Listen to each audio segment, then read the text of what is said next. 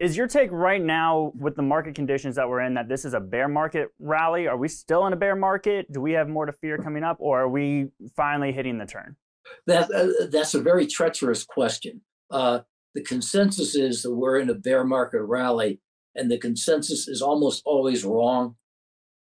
In this case, I think the consensus we are in a bear market, and what we're seeing is either a, a relief moment, which we've seen for the last week or two, or a re- relief rally that's going to trap and trick people into coming back into the market. Um, I do think we are in a bear market. The lower prices are likely to come uh, uh, during the remainder of the year, although there is going to be something of a, uh, again, treacherous, deceptive relief rally in the uh, days and weeks just ahead.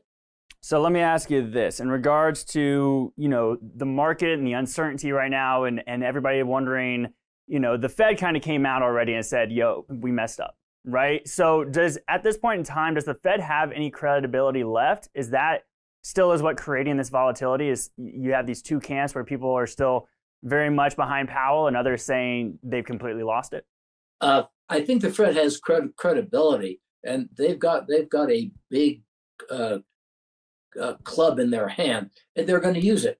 Um, they are going to stamp out inflation, and that is going to cause interest rates to be higher, and it's going to slow down the economy. But it, it, they they do serve the greater good in doing that. Inflation robs everybody.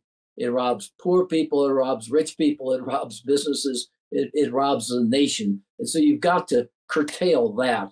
Uh, and if the cost of it is uh, one to two to three percent growth rather than four or five percent growth, it's an acceptable cost. The Fed has said what it's going to do, and they will follow through with it. I think. Yeah. So here in my notes, you you have investors should be raising cash. This is directly from you. So can you walk us through what you mean, how much of the allocation should be going to cash? Because I'm just wondering because there's others out in the market saying cash is still trash.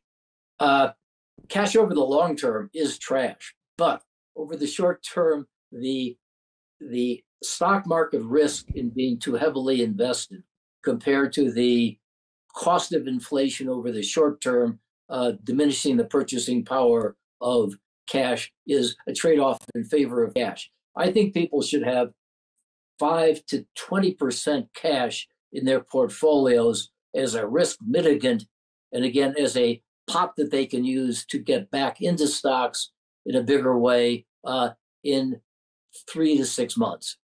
Watch the full episode on seekingalpha.com. Just search for the weekend bite in the search bar at the top of the homepage.